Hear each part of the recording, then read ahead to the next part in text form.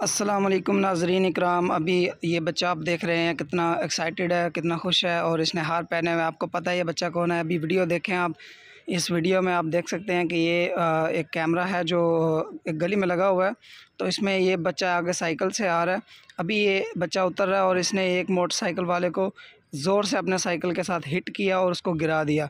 अब ये एक चोर था जो चोरी करके भाग रहा था, लेकिन इस बच्चे ने बहुत ही ज़रूरतमंदाना फ़ैसला करते हुए बड़ी ज़रूरतमंदी से उसको अपनी साइकिल मार के गिरा दिया और चोर को पकड़वा दिया।